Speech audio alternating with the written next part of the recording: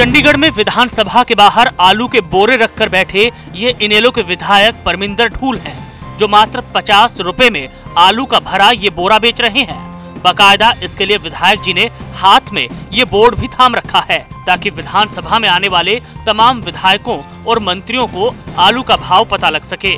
दरअसल इनेलो विधायक अपने इस अनोखे प्रदर्शन के ज़रिए सरकार का ध्यान आलू की खेती करने वाले किसान की घटती कमाई की तरफ़ खींचना चाह रहे हैं। जो आज के दिन अपने परिवार का पेट तक नहीं पाल पा रहा है, जिसका बड़ा कारण इन दिनों बाज़ार में किसान को आलू की कीमत न मिल पाना है।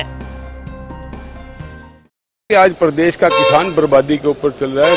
किसान विरोधी सरकार सोई हुई।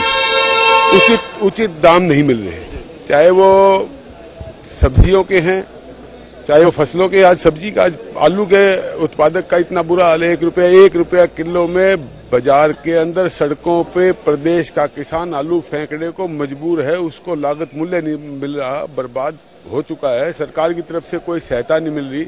ना सरकार सुनिश्चित करा रही है कि किसान को कोल्ड स्टोर के अंदर आलू रखने की सुविधा मिले। कोल्ड स्टोर वाले इनकार कर चुके हैं कि हम सुविधा नहीं देंगे।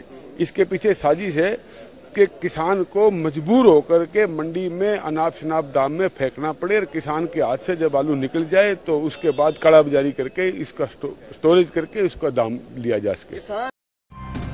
इनेलो विधायक ने यहाँ सरकार पर किसान विरोधी होने का भी आरोप लगाया। ढूल ने कहा कि बीजेपी सरकार ने अपने चुनावी घोषणा पत्र में प्रदेश में स्वामीनाथन आयोग की रिपोर्ट को लागू करने समेत कई बड़े बड़े वायदे किए थे, लेकिन आज सरकार पूरी तरह से अपने वादों को भूले बैठी है।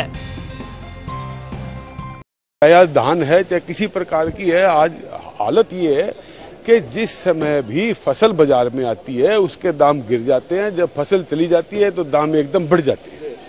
यही कारण है कि आज प्रदेश का किसान बिलो पावर्टी लाइन जा चुका है। पचास परसेंट का जो मुनाफे देने का एक वायदा किया था, वो लागू नहीं करना चाह रहे। सुप्रीम कोर्ट के अंदर एक एफिडेविट दे दिया कि हम लागू नहीं कर पाएँगे। सुप्रीम कोर्ट ने बार ये कहा कि आप किसान की सुनिश्चित आय एक योजना बनाएँ, उसमें भी इनकार करके। अब सुप्रीम कोर्ट ने जो बढ़ती जो फार्मर सुसाइड है, उसके ऊपर चिंता व्यक्त करके कहा है, मुझे नहीं लगता कि ये प्रदेश की और देश केंद्र की भारतीय जनता पार्टी सरकार किसान के हित की सरकार है। इसी कारण आज किसान प्रदेश का और देश का बर्बादी की ओर चल पड़ा है। इसी को मुद्दे को उठाने के लिए मैं यहाँ खड़ा हुआ हूँ कि आज किसान की मजबूर हो चुका है किसान।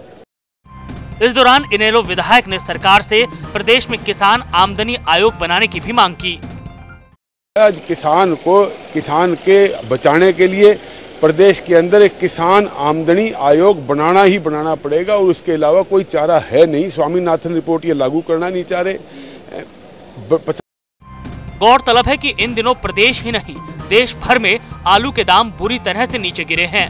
हालत ये है कि किसान आलू को ज़मीन पर फेंकने को मजबूर हो रहा है तो वहीं पॉपुलर और दूसरे फ़सल के दाम भी पिटे पड़े हैं, जिससे किसानों का खर्चा तक नहीं निकल पा रहा। जिसको लेकर अपने चुनावी घोषणा पत्र में बीजेपी ने ही प्रदेश में स्वामीनाथन आयोग की सिफारिशों को लागू करने का वादा किया था, लेकिन सरकार बनने के बावजूद बीजेपी अब तक अपने वादे को पूरा करने में विफल रही है।